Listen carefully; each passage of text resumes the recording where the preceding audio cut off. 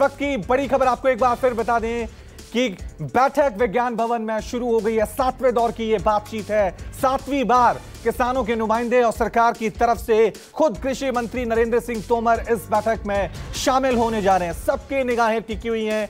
आज की इस बैठक पर देखना यह है कि क्या इस बैठक के बाद कोई समाधान निकलता है। क्या सरकार आज झुकेगी या फिर आज किसान रुकेंगे? क्योंकि अभी तक किसी तरह के ऐसे संकेत नहीं मिले हैं, जिससे यह लगे कि आंदोलन अभी थम जाए। हमारे साथ लगातार, जैसे हम आपको दिखा रहे हैं कि पल पल की अपडेट हम आपको दिखा रहे हैं, विज्ञान भवन से, गाजीपुर बॉर्डर से, टिकरी बॉर्डर से। लगातार सीधा रुक करूँगा टिकरी बॉर्डर का। प्रशांत हमारे साथ बने हुए हैं। प्रशांत आप आपसे जानना बहुत ज़रूरी है, क्योंकि अब बैठक शुरू हो गई है। सातवीं बार सरकार और किसान संगठनों के बीच ये बैठक शुरू हो रही है।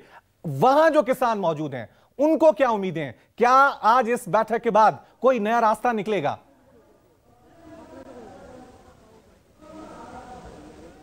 जी रवि, देखिए हमने सवेरे भी कई किसानों से बात की और उनकी मांग तो ये है कि जब तक कानून रद्द नहीं, तब तक ये आंदोलन जारी रहेगा।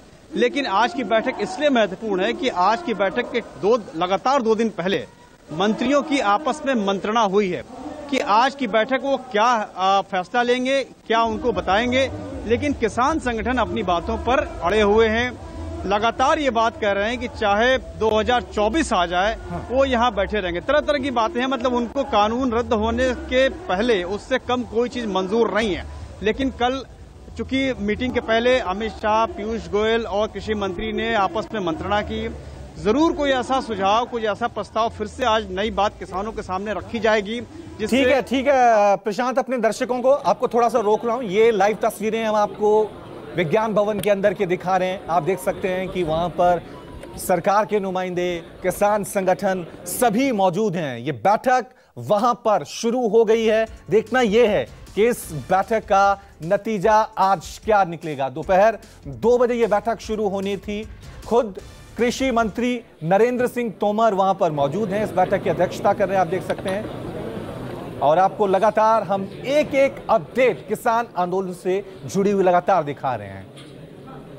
वहीं इधर किसान नेता राकेश टिकैत का भी बयान सामने आ गया टिकैत ने कहा है कि कानून वापसी से कम हमें कुछ भी मंजूर नहीं। राकेश टिकैत से बातचीत की हमारे संवाददाता प्रभाकर मिश्रा ने। सबको उम्मीदें हैं। ना उम्मीद। आपको भी उम्मीद है। हाँ उम्मीद है। बगैर उम्मीद के तो कोई जाता ही नहीं। हाँ, हाँ उम्मीद है। तो ये इतने दिन में जो ये छह राउंड की वार्ता हुई और आज में कुछ अंतर समझ में आ रहा है आपको? हाँ कुछ ज्ञान प्राप्त हो गया होगा सरकार को अभी तक तो। और कुछ किसान नेताओं को भी? किसान नेता कहाँ हैं? किसानों को भी। किसानों को तो हो रहा? हाँ, हाँ ज्ञान प्राप्ति तो सबको होगी। कानून वापसी या कुछ और भी? और कुछ नहीं कानून वापसी। चलो। इस बीच में बातचीत के क्रम में ये जो इतना समय जो अंतराल हुआ कुछ संकेत मिला है कि सरकार कहीं ना ना सरकार कहाँ मिली? सरकार को तो ढूंढ रहे हैं। सरकार तो मिली नहीं। तो उम्मीद है। उम्मीद है पूर्ण रूप से उम्मीद है हमें।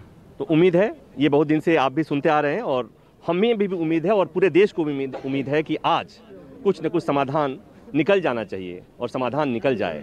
वही देश के लिए भी बेहतर है, सरकार के लिए बेहतर है और किसानों के लिए भी बेहतर होगा। कैमरा उमेश के साथ Prabhakar Mishra news twenty four Ghazipur border